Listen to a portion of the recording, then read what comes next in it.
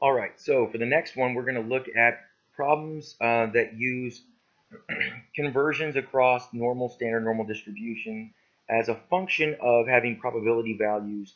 So we're always trying to solve for some missing variable in these questions. And I think the first thing we need to remember is that there are three variables that could go into these. So whenever we're talking about going across distributions, we need a mean, we need a standard deviation, we're often going to deal with a score. Now remember, this is either going to be x or z, depending on whether it's normal or standard normal, right? x are raw scores that are normally distributed if it's specified, for example, as in this question. z is inherently normally distributed because it is the standard normal distribution.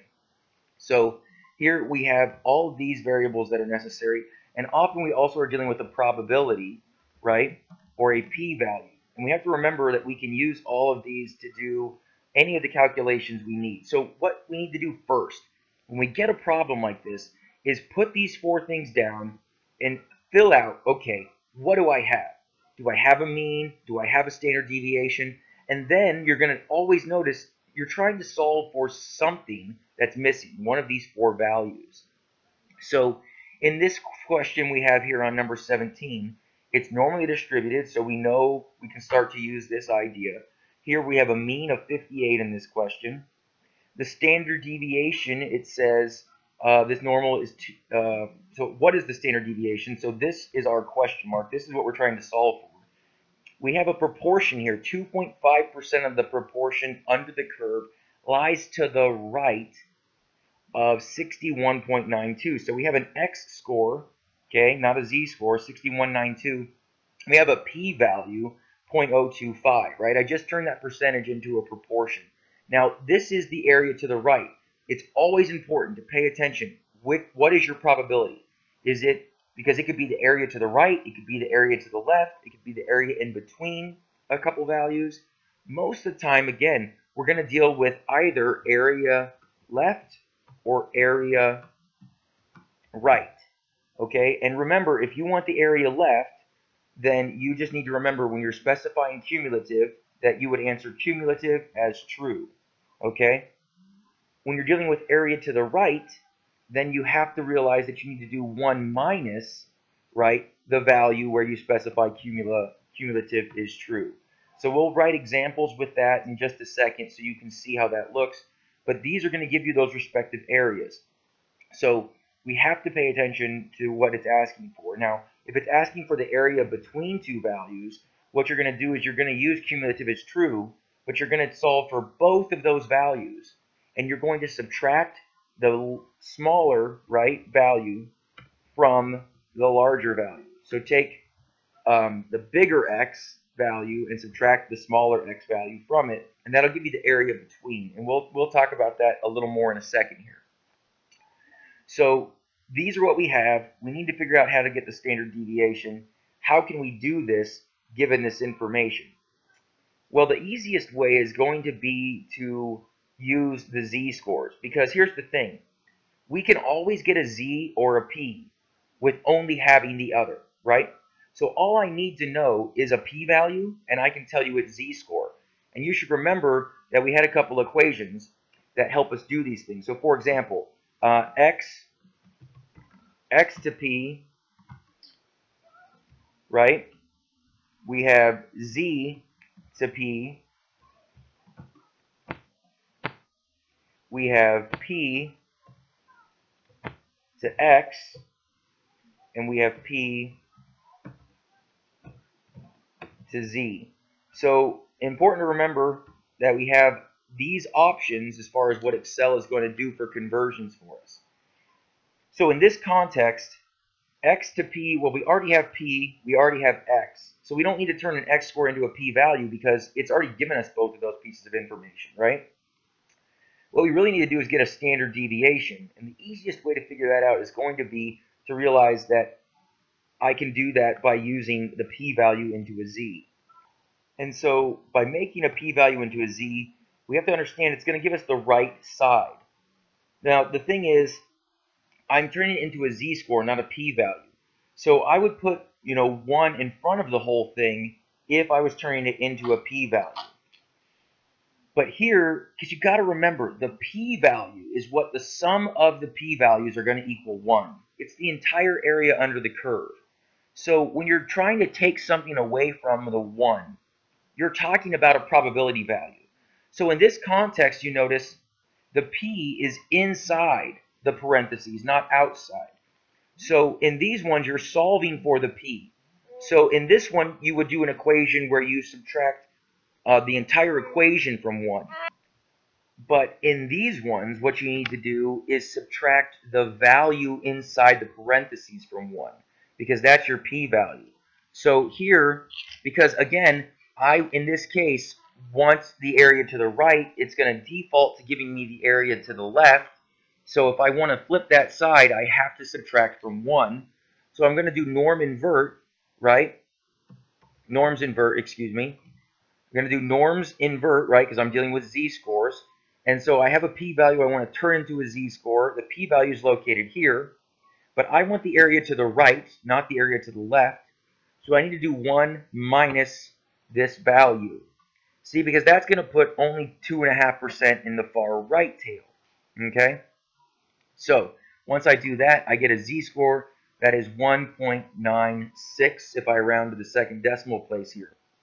So what I need to figure out now is, okay, so that is how far away I am in standard deviations because z's are in standard deviations. So what that means is the distance between my original x-score and my mean has to be this many of the raw standard deviations. So x minus mean, that number has to be this many standard deviations. So this is going to be divided by my z-score. And now I'm going to figure out how many standard deviate, how large the standard deviation for this distribution is. And so you see that this standard deviation is 2. Now, let's stop and think about this for a second. It makes sense. If you have 2.5% of the proportion to the right of this value, then this value has to be at our basically our 95%, right? Remember, plus or minus 1 standard deviation is 68%, plus or minus 2 is 95%, plus or minus 3 is 99.7, okay? And so it makes sense that we'd get a z-score of basically 2 for the fact where that's located in the distribution. This is the more precise value associated with that as opposed to rounding to 2. But now let's look at this so the 58 to approximately 62, you see that that basically would be two standard deviations away, and that's where it should be located. And in fact, a standard deviation of 2, that is basically two standard deviations away, right? One standard deviation above 58 would be 60. Two standard deviations above 58 would be about 62, right? And we are just about two standard deviations away. And so that's the type of logic that would be applied. And you would use that same logic then looking at problem like 18, where in 18 here, they give you a normal distribution as a standard deviation. So now we have our standard deviation, okay, is 21. Okay, what is the mean? So what we're trying to solve for is the mean, okay? Now, we need to figure out um, if we have a score at 175 has 0.0228 probability of occurring, so a score above, so we're dealing with to the right because that's bigger than. So we're dealing with an X score of 175, and we're dealing with an area of 0.0228. Now that area is going to be to the right. So we have to consider that we're going to the right whenever we're going to solve these because Excel by default wants to give you the areas to the left. So keep that in mind. So keeping that in mind, now we know what we have to solve for. So let's figure out which way we need to take this. Well, we we know one of the most convenient ways to do this is going to be to think in terms of the z table, the standard normal distribution. So we can figure out a z-score for this probability value. Remember, all you ever need is a probability value and you can get a z-score. All you ever need is a z-score and you can get a probability value. Because in those contexts, the mean and the standard deviation are inherently 0 and 1. So they are always known, which means that if you have a z the mean is 0, the standard deviation is 1, you have z, then this is your only possible unknown. If you have a standard normal distribution, the mean is 0, the standard deviation is 1. So if you have a p-value, then only z is unknown.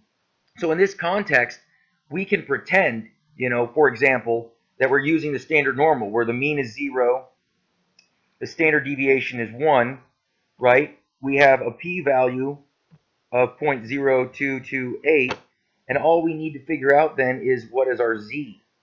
And so we could use that z to be able to get our x from our z. So if we use that extra bit, it can help us figure out what all we can do to solve this. So we're going to just pretend, instead of using just normal, that we're using standard normal, right? And find the z-score. It's our only missing value in this context, and then we can translate to the mean. So to find the z-score, we do norms invert, right? And now again, we need area to the right, so we want 1 minus this value, right? So the z-score there is basically 2, right? Just off of 2, okay? And so now we need to figure out how to get the z-score, right? Which we now know is this value, right?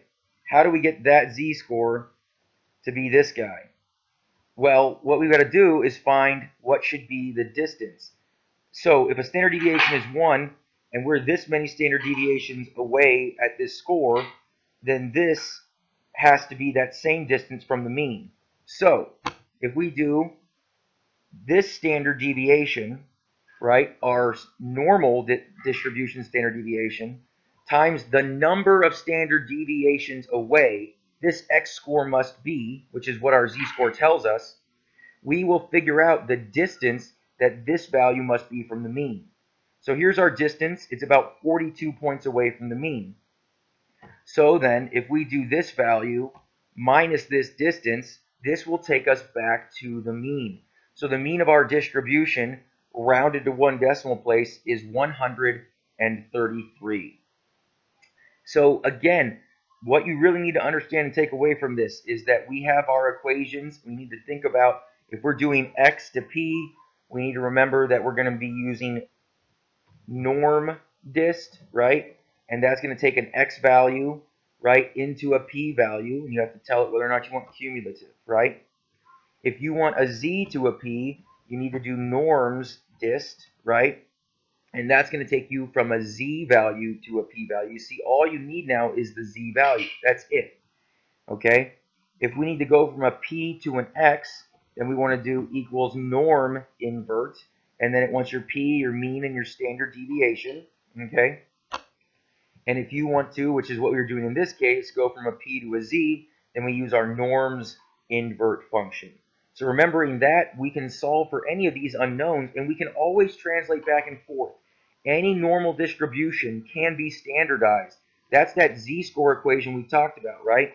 So you can standardize any normal distribution just by doing a score minus the mean, divide that by the standard deviation, right? And that turns, so if you remember, x minus the mean, right, divided by the standard deviation, that turns any raw score into a z-score. Okay, so that's the equation to convert, which means you can convert any normal distribution into a standard normal distribution. And the beauty of that is when you use a standard normal, you always have mean and standard deviation known. And so then you can use that information to translate back into your typical normal distribution and solve for something that may presently be unknown. And so that's how you would do it for both of those problems and anything um, that's a similar nature. Make sure you're identifying are we which area are we dealing with under the curve, left, right, or between, and what is our unknown value for which we need to be solving.